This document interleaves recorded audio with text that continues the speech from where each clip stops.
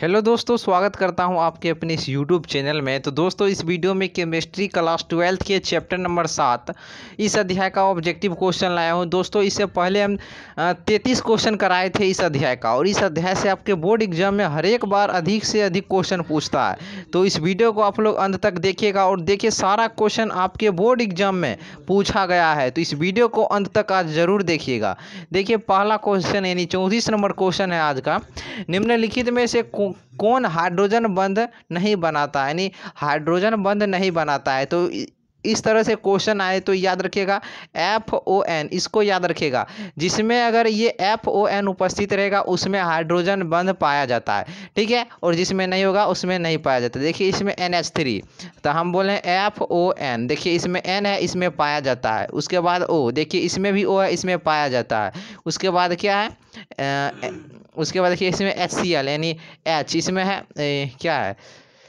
H C L इसमें ये नहीं है तो इसमें नहीं पाया जाता और एच एफ़ यानी एफ़ इसमें है तो इसमें पाया जाता है। तो इसमें किस कह रहा है हाइड्रोजन बंध नहीं पाया जाता है तो HCL में नहीं पाया जाता और ये तीनों में पाया जाता है। ठीक है एफ़ ओ एन को याद रखिएगा ठीक है और क्वेश्चन बन जाएगा एफ़ ओ एन ठीक है।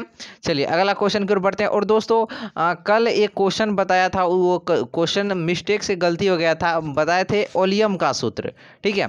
ओलियम का सूत्र उसमें ऑप्शन नंबर बी लगा दिए थे इसका right answer H two oleum का सूत्र क्या होता है? H two H two O seven होता है, ठीक है? हम मार दिए थे, मार दिए थे क्या? H two S O four मार दिए थे, लेकिन यह गलत था।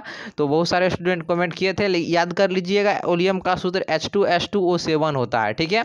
चलिए, अगला क्वेश्चन इसमें देखिए क्या है ऑक्सीजन और ओजोन है। ऑक्सीजन और ओजोन क्या है? तो यह अपरूप है, याद रखिएगा, अपरूप। अगला है, निम्नलिखित में से कौन धातु साधारण तापक्रम पर साधारण तापक्रम पर दौरा होता है? तो ये आपका ऑप्शन नंबर बी हो जाएगा पारा। क्या हो जाएगा? पारा। अगला क्वेश्चन की ओर बढ़ते हैं। देखिए, क्या निम्नलिखित में सबसे कम भाषमिक है? सबसे कम भाषमिक कौन है? तो इसमें आपका एन आई थ्री हो जाएगा। N I three H two S O four है। H two S O four अम्ल है। ऑप्शन नंबर ए हो जाएगा। सल्फाइड इसका समाहरण किया जाता है? फेन उत्पलवन विधि के द्वारा देख सकते हैं। सारे क्वेश्चन पूछा गया है। अगला क्वेश्चन देखिए क्या है? सोडियम आवर्त सारणी के किस ग्रुप का सदस्य है? तो ये आपका ग्रुप एक का सदस्य है। किस ग्रुप का? ग्रुप एक। एक्स ई एफ़ फोर की आकृति है। तो इसकी आकृति वर्ग समतलिया होती है। वर्ग समतलिया। बल्बों में भरने हेतु तो उत्कृष्ट गैस कौन है? तो ये आपका आर्गन है। कौन है? आर्गन ए आर ठीक है? चलिए, अगला क्वेश्चन को बढ़ते हैं। देखिए, गोताखोर ऑक्सीजन ओ टू के साथ मिलाकर ले जाते हैं। कौन सी और गैस लेकर जाते हैं? तो हीलियम लेकर जाते हैं, ठीक है, ऑक्सीजन के साथ। सर्वाधिक विसरण क्षमता पाई जाती है। सब, सर्वाधिक विसरण क्षमता किसमें पाई जाती है? तो हीलियम हीलियम में पाई जाती है। याद रखिएगा, हीलियम का मुख्य स्रोत क्या है? काफ़ी इंपॉर्टेंट है। हीलियम का मुख्य स्रोत आपका सूर्य हो जाएगा, ठीक है, सूर्य। नेक्स्ट प्रश्न की ओर बढ़ते हैं, देखिए क्या है? निम्न, में सर्वाधिक आयनन विभव किसका है? किसका आयनन विभव है? अधिक तो ये फॉस्फोरस यानी पी हो जाएगा। ठीक है? चलिए, अगला क्वेश्चन है A L two O three एक ऑक्साइड है। एक ऑक्साइड है तो यह उभयधर्मी है। क्या है उभयधर्मी? वायु का मुख्य अवयव कौन है? वायु का मुख्य अवयव कौन है? तो इसमें C O two N two और ओ टू आ जाएगा। याद रखिएगा C O two N two और ओ टू चलिए, अगला क्वेश्चन है पी और वाइटल का आकार होता है। काफ़ी इंपॉर्टेंट है और बहुत बार पूछा गया है। पी और वाइटल का आकार होता है तो डम्बेल होता है। याद रखिए डम्बेल ठीक है?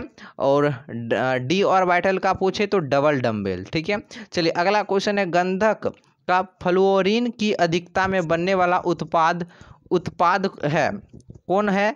तो याद रखिएगा, ये ऑप्शन नंबर आपका सी दिया गया है एस एफ़ सिक्स यही है, ठीक है? पूछता है ये क्वेश्चन इस बार के लिए इंपॉर्टेंट है। अम्लराज एक मिश्रण है अम्लराज, एक मिश्रण है three H C L ratio दिया है, एक H N O three option number A हो जाएगा। हीरे में कार्बन का संकरण कितना है? हीरे में कार्बन का संकरण कितना होता है? तो याद रखिएगा, हीरे में कार्बन का संकरण एस पी थ्री होता है। याद रखिएगा एस पी थ्री आर्गन एक गैस है। आर्गन एक गैस है यह एक परमाणविक है? याद रखिएगा आर्गन एक गैस है यह एक परमाणविक होता है। एलुमिनियम की ऑक्सीकरण अवस्था एलुमिनियम की ऑक्सीकरण संख्या, अवस्था प्लस तीन होता है। नो, नोबुल गैस होते हैं, नोबुल गैस होते हैं तो नोबुल गैस याद रखिएगा, यह आपका एक परमाणविक होते हैं नोबुल गैस। चलिए, अगला क्वेश्चन की ओर बढ़ते हैं। देखिए, समुद्र जल में पाए जाने वाला तत्व कौन है? आयोडीन है, आयोडीन। कार्बनिक यौगिक में तत्व उपस्थित होना चाहिए। कार्बनिक यौगिक में तत्व उपस्थित होना चाहिए कार्बन में। त्रिक्षारकीय अम्ल कौन है? त्रिक्षारकीय अम्ल इनमें से कौन है? तो H three P O four है। त्रिक्षारकीय अम्ल H three P O four X C F F two की एफ़ टू के अणु की आकृति होती है। इसकी आकृति कैसी होती है? तो रेखीय होती है, रेखीय। सफ़ेद फॉस्फोरस पी फोर अणु में इनमें से क्या सही नहीं है? तो six P P single bond होता है।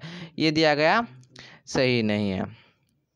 अगला है आपका निम्नलिखित में से सबसे प्रबल अम्ल कौन है? सबसे प्रबल अम्ल कौन है? तो बी आई थ्री हो जाएगा option number D S F six में सल्फ़र का ऑक्सीकरण अवस्था कितना है?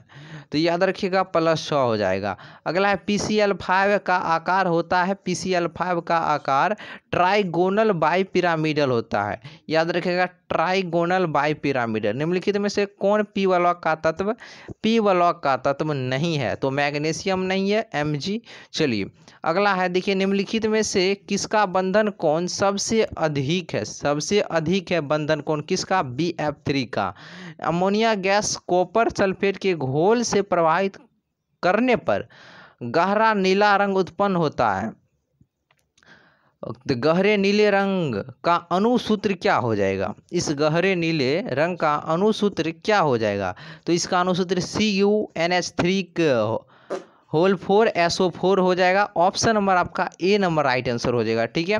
और देखिए, अगला क्वेश्चन आपका, किस यौगिक का द्विध्रुव आघूर्ण सबसे अधिक है? किस यौगिक का द्विध्रुव आघूर्ण सबसे अधिक है? तो एच एफ़ याद रखिएगा ऑप्शन नंबर ए किसका अनुचुंबकीय आघूर्ण अधिक है? तो याद रखिएगा, ये आपका ओ टू माइनस का हो जाएगा ऑप्शन नंबर डी हो जाएगा राइट आंसर अगला है सांद्र एच एन ओ थ्री में कौन सी धातु अक्रियाशील हो जाता है? याद रखिएगा सौंद एच एन ओ थ्री में जो ये आपका पीवी है, यह अक्रियाशील हो जाता है। अगला क्वेश्चन है, देखिए क्या है?